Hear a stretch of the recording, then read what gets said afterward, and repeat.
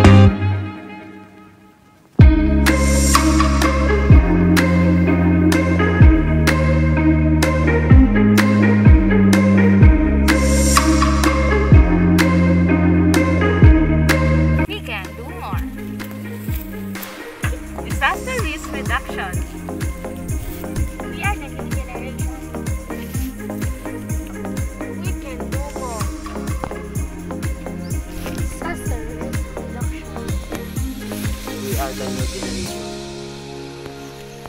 We can do more. Nandito po kami ngayon sa aming barangay at ipapakita namin kung saan merong landslide prone area. Six household is affected. Every time that heavy rainfalls or typhoons are occurring to this barangay. So, today we're gonna show you the landslide prone area.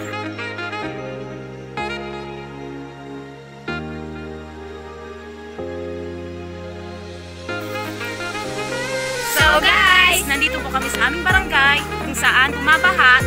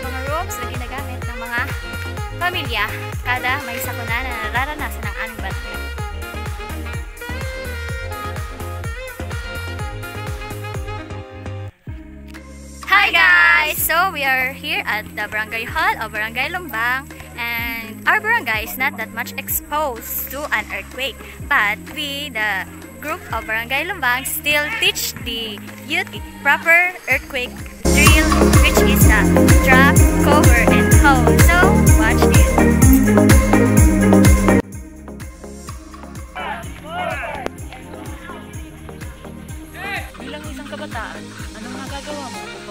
Ang epekto ng natural disaster sa ating barangay? Um, para sa akin, ang aking magagawa ay siyempre, unang-una, yung, unang-una sa lahat ay ang pagdasal. At pangalawa, ikayatin ng mga kaibigan mga kaibigan para mapigilan ng mga katulad ng bagyo pag pumasok sa atin, yun, magagmari ko yung mga katulad ko sa ating kapaligiran. We can do more. Disaster risk reduction. We are the new generation.